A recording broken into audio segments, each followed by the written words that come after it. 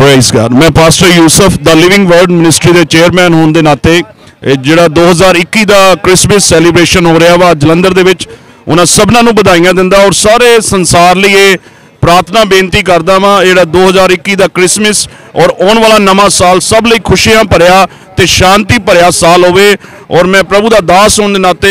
ਸਾਰਿਆਂ ਦੇ ਲਈ ਇਹੋ ਹੀ ਪ੍ਰਾਰਥਨਾ ਕਰਦਾ ਮੈਂ ਪ੍ਰਭੂ ਸਭ ਨੂੰ ਬਰਕਤ ਦੇਵੇ ਤੇ ਸੰਭਾਲ ਕੇ ਰੱਖੇ ਔਰ ਸਾਰਿਆਂ ਨੂੰ happy Christmas and happy new year